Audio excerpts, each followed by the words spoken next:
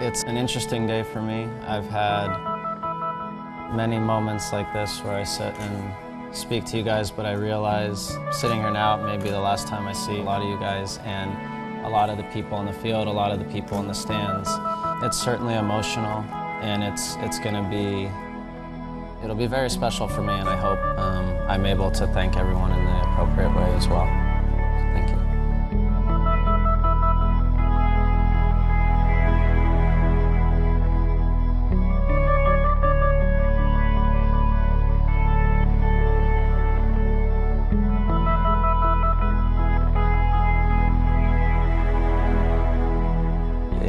It's meant to be. I, I think it's no coincidence it's 10-10 today. Landon Donovan, he is the headliner. He's the heartbeat of this entire evening here in East Hartford. Has spent half his life as a professional soccer player. Has been the face of the game, as we've said, on and off the field. Five goals in World Cup finals. He's the only American to score multiple goals in two World Cups.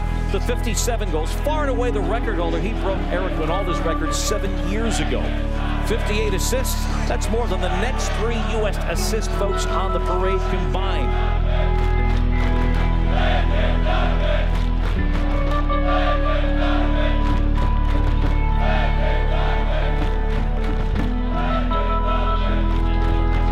Turn the page, pass the torch, pick your analogy.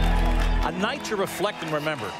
It's half my life that I've spent wearing that jersey many times during the year, so it's going to be exciting, it's going to be sad, it's going to be nostalgic for me.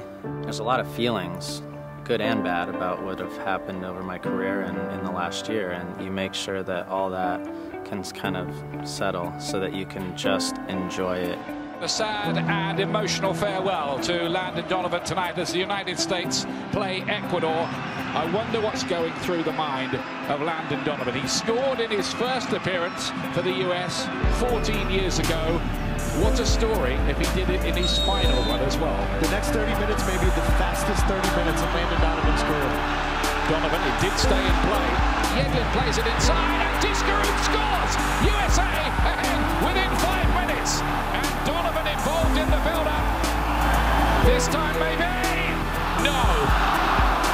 Who's been so far. And then Donovan! Oh, the inside of the post. Can he still finish it? Well, maybe it's just not going to be. Now then, this is the moment. There'll be a standing ovation here. Farewell to the USA's talisman and torchbearer for most of the last 15 years. He's been inspirational, classy, dignified, record breaker and history man. Landon Donovan.